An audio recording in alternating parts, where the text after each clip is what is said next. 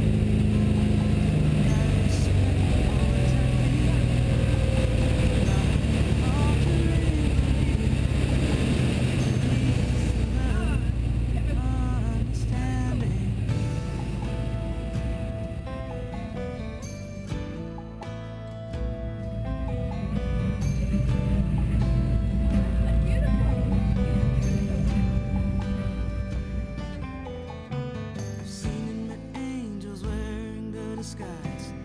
Ordinary people leading ordinary lives, filled with love, compassion, forgiveness, and sacrifice.